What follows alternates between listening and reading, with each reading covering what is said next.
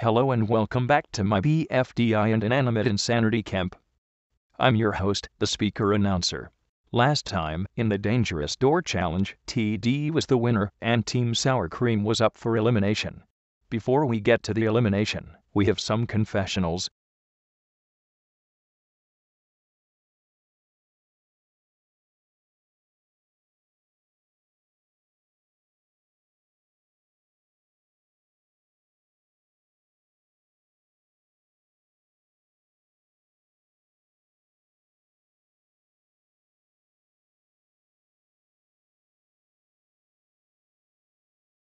So, with confessionals out of the way, we can do cake at stake.